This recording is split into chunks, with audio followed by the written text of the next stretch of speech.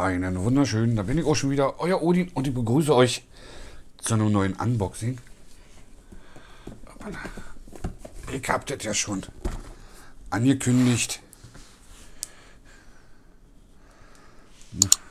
Das ist ein bisschen groß, der Karton. der geht nicht ganz ins Bild. Das ist die äh, Guvi, also Guvi TV Backlight T2, also der Nachfolger vom T1 für 65 bis 65, äh, 55 bis 65 Zoll TV-Geräte. Auch Alexa und Google Home fähig. Jetzt springt sie gleich an. Ne, wollen wir nicht. Äh, ich habe die jetzt seit kurz nach Weihnachten, also kurz nach Weihnachten habe ich sie bestellt.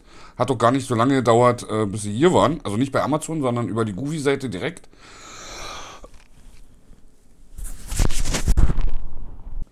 Weil, ähm, ich habe mich aber, ich habe jetzt erst Videos gemacht, weil ich ja nicht wusste, ob ich es behalte, auf ehrlich gesagt.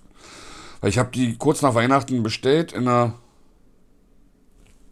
Kurzschlussaktion, weil ich hatte eine E-Mail gekriegt mit Rabatt und auf der Webseite gab es gerade Rabatt. Und dann habe ich den Rabattcode eingegeben und dann gab es den nochmal oben drauf. Und dann habe ich mich noch äh, mit einer anderen E-Mail-Adresse, also ich habe da kein Konto gehabt, ich muss mir dann erstmal neue Konto, äh, erstmal überhaupt ein Konto da anlegen, damit ich bestellen konnte.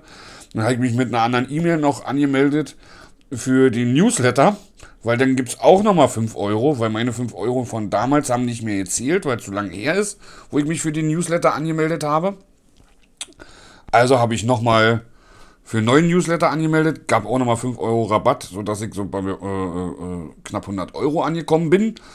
Und es ist äh, ja, um die 50 Euro gespart. Und da konnte ich dann echt nicht nee sagen, da musste ich dann zugreifen. Im Endeffekt habe ich mich dann geärgert und habe überlegt, ob ich es vielleicht weiterverkaufe. Weil äh, wegen, wegen dem Auto und so, ihr wisst ja, dass ich da gerade eine große Reparatur hatte von 1500 Euro und dann kam noch die nächste Reparatur mit dem Schloss und da war ich kurz davor, deswegen habe ich da auch noch kein Unboxing gemacht.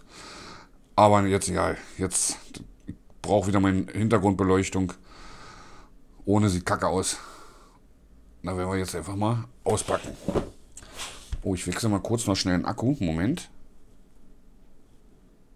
Da sind wir auch. Und jetzt werden wir das mal auspacken, das gute Stück. Wir haben hier oben so ein Ding, was wir ziehen können. Open. Und hier haben wir dann von der Seite Open. Hier hinten ist es dann auch nochmal abgebildet mit anderen Guvi-Leuchten. Dream Reef, Synchro Color, Light. Und halt die, die neue Version hat halt praktisch hier eine Kamera mit zwei Linsen. Die T1 hat nur eine Linse. Und die LEDs sind bei T2 dichter zusammen, bei T1 sind sie ein Stück weiter auseinander. Die Anzahl weiß ich jetzt aber nicht genau, wie viele LEDs jetzt da mehr sind.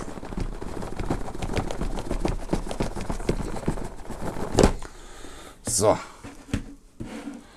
Oh, die sieht ja schick aus. Das habe ich anders erwartet. Okay. Ich habe ich hab nur so ein paar Sachen mal durchgeguckt und die gelesen, haben sie aber nicht gesagt, dass die Kamera. Oh, die hat aber auch Gewicht. Hier oben so ein, so so ein Bezug hat. Sieht ja gut aus. Die werde ich natürlich noch drauf lassen. Die haben auch jetzt den. Die Halterung haben sie verbessert im Gegensatz zu T1. Da war sie halt nicht so toll. Hier haben wir dann noch Gummi. Ja, dann kann, passt er halt auch bei kleinen.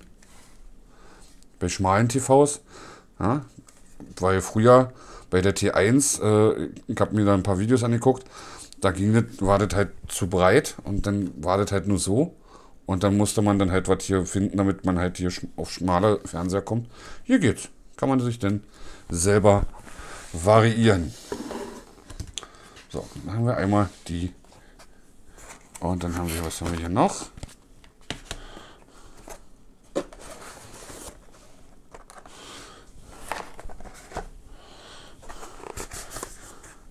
Ah, das ist der komplette Würfelteil. Den nehmen wir raus. Und hier unten. So. Ich werde es dann mit Josie zusammen anbauen. Also ich werde es jetzt noch nicht anbauen. Ich mache dann, da werde ich auch wahrscheinlich kein Video machen. Weil da werde ich mich konzentrieren bei. Und hier haben wir dann die LEDs. Die sind, soweit ich weiß, auch getrennt. Also wir haben hier keinen durchgängige LED. Ich suche gerade hier einen Übergang. Ich glaube, hier, das könnte ein Übergang sein. Ja, wir haben hier kein durchgängiges LED-Band für den Fernseher, sondern äh, einzelne Teilabschnitte für links, rechts, oben und unten.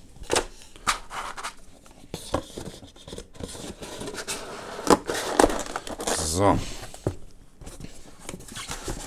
Aber Josie kommt etwas später, deswegen können wir das erst nachher anbauen. So, dann gucken wir erstmal hier rein, was hier so drin ist. Ich muss dann auch noch gucken, wie es mit dem Strom auf sich hat. Okay.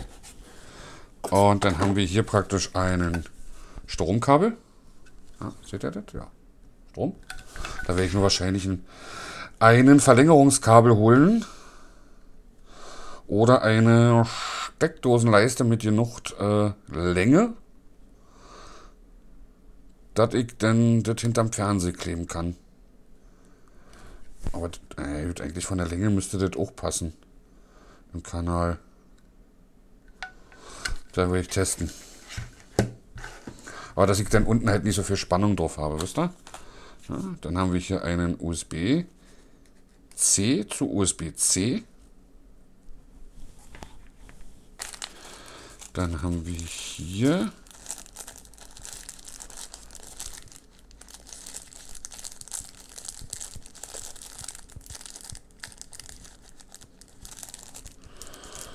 hier.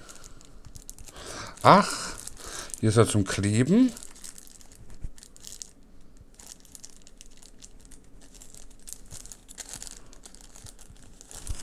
Okay, dann gucken wir mal rein.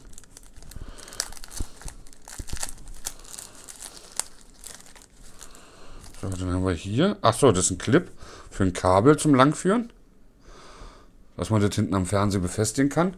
Dann kann man den Kabel da durchführen. Ich habe aber auch so eine noch, muss ich mal gucken, wo ich meine habe. Dann haben wir hier zweimal Klebestellen.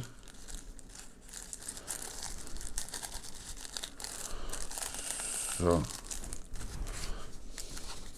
Alkoholpads. Die sind jetzt dafür da, dass man die Fläche, wo man klebt, vorher mit den Alkoholpads äh, desinfiziert und praktisch auch schmutzfrei macht, damit die LED vernünftig klebt. Ach, hier sind dann noch mehr drin. Und hier haben wir dann noch ein paar Halter. Überall ist auch Klebeband schon dran. Sind zwei Stück, zwei Tüten. Und dann haben wir hier noch einen Karton.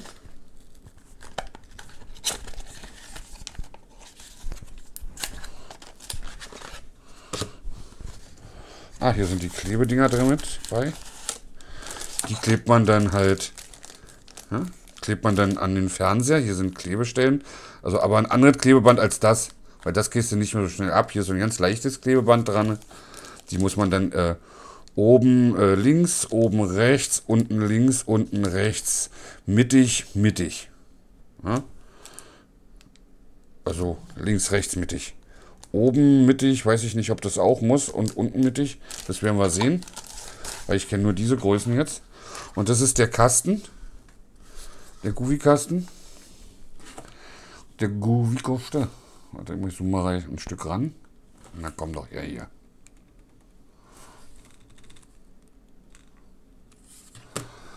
Der ist dafür da, der kommt an die Rückseite vom Fernseher dass man halt die Leuchte hier separat ein- und ausschalten kann.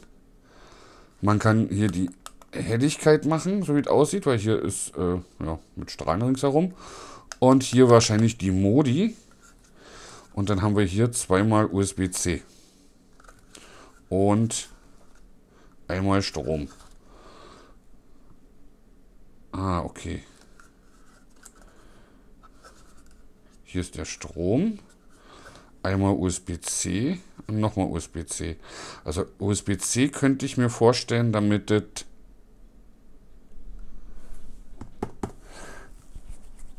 an die LED kommt, aber der zweite USB-C? Warum einen zweiten? Wir haben eine Verlängerung. Ah, ich glaube, ich weiß warum. Ich glaube, ich weiß warum. Da können wir praktisch hier unsere LED ranmachen und hier könnten wir dann diese Erweiterung machen. Man kann ja auch nach links und rechts so, so einen Spotter sozusagen hinstellen. Ja? Und dann kann man das äh, Ambilight praktisch nicht nur auf, sein, nur auf dem Fernseher haben, sondern auch noch weiter erweitern. Und da wird das wahrscheinlich dazu sein. Aber das, die Anleitung ist ja da drin. Das werde ich mir durchlesen. Hier haben wir auch dann das M drauf, hier wieder Klebeband drauf. Das werde ich dann auch in die Ecke irgendwo kleben. Äh, wahrscheinlich äh, bei mir wird es die rechte Ecke vom Fernsehen. Und da ist der Kratzbaum. Und da komme ich halt von der Seite gut ran. Auf der linken Seite sieht das dann schon wieder etwas schlechter aus mit dem Rankommen. Und von rechts kann ich da einfach so ringreifen. Das passt dann schon ganz gut. Ich werde natürlich dann auch ein Video machen, wenn alles fertig ist. Wenn es aufgebaut ist. Dass ihr euch das angucken könnt, wie es aussieht. Versprochen. Und wenn ich es eingerichtet habe, ich muss mir dann noch die Software runterladen, hast du nicht gesehen. Ich bin schon sehr, sehr gespannt drauf. Aber wie gesagt, ich weiß nicht, ob ich es heute schaffen werde, weil ich, da werde ich mir wirklich, da werde ich mir wirklich Ruhe und Zeit für nehmen und nicht hektisch und husch husch, das muss jetzt ran, ich will das unbedingt sehen. Wenn es heute nicht klappt, dann mache ich es morgen, weil es soll auch schön sein, es soll gut aussehen, es soll richtig gemacht werden und nicht halb und ja, deswegen Oh, ich bin schon sehr gespannt. Ich bin schon sehr, sehr gespannt. Ich habe auch, Test auf, ich hab auch schon Testvideos gemacht äh, vor längerer Zeit, äh, wie man äh, zum Ambilight testen und so. Äh, das werden wir uns dann alles angucken. Ich bin jetzt erstmal weg. Bis zum nächsten Mal. Haut da rein. Ahoi. Sagt euer Odin.